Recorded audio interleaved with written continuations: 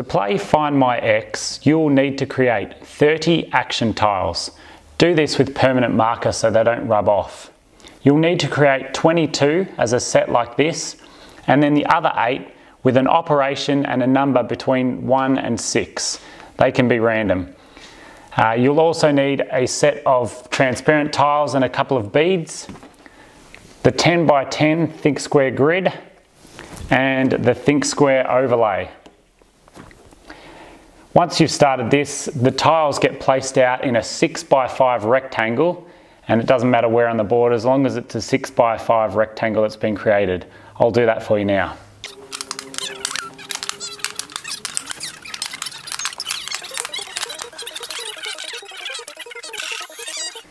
A player begins by selecting a random algebra equation, either from the Think Square website or from their teacher. This might be the equation. The aim is to solve that equation using the least amount of tiles possible by starting in a corner. Let me show you what I mean. To solve this equation, the first thing you need to do is to subtract 4 from both sides. To do that, you're getting the x by itself, and I like to think of algebra a lot like tug of war. Is if you want to find out how strong someone is, this someone is your x. If you wanted to find out how strong they are, they need to be on the tug of war rope by themselves.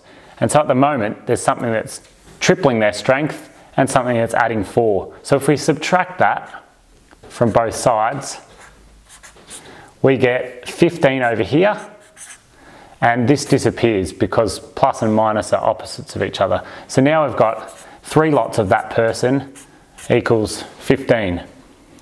And now we don't want to find out what triple of them is, we want to find out what they are by themselves. So we need to divide to get rid of that 3. So we divide on both sides by 3.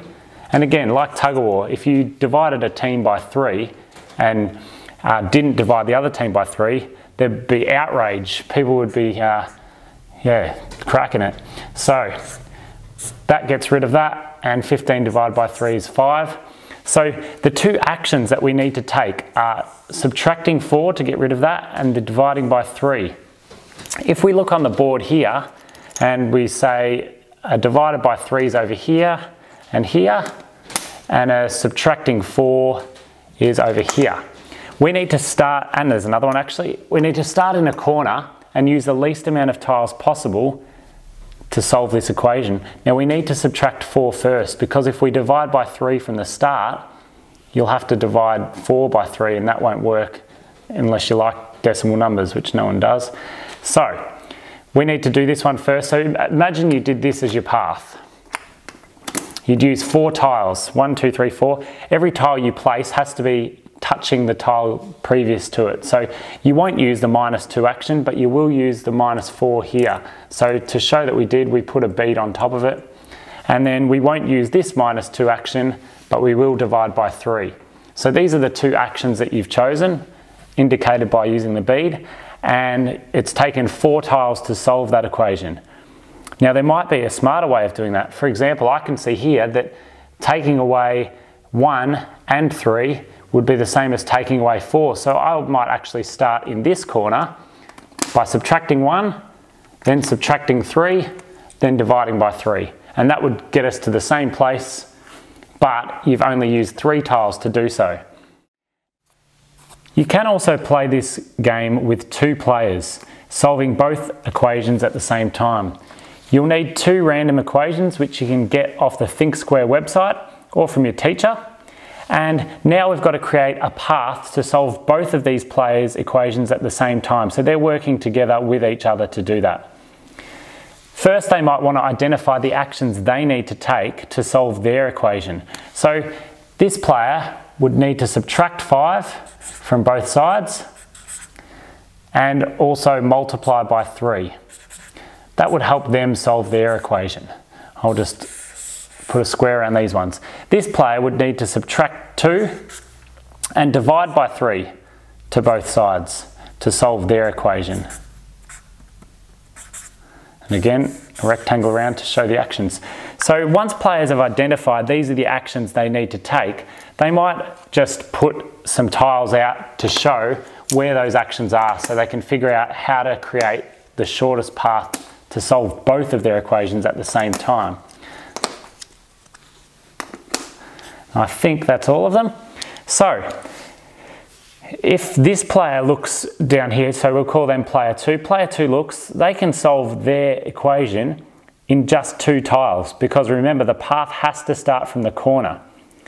These two tiles would solve that player's equation, but then it leaves the other player stranded a long way away. And so you need to create a path with tiles without choosing the actions. Remember, when you place a tile down, you can either choose to take the action, and if you do that, you'd put a bead on top to show you have, or it can just be a pathway on, on the way to actions you actually want to take. So the actions, this player actually wants to take a minus five and times three. Now they're a long way from this corner, but let's just imagine this player had a bit of influence. So they said, I want to start on this corner. That, that gives them a tick for one of their actions. So this action's done. They've taken that. We'll put a bead on top. They'll also want to divide by 3 because that completes their equation. But remember, they're working as a team. This isn't a race. So they've finished solving their equation now. They've taken those two actions and this player hasn't. They're now going to place some tiles to get to the minus 5.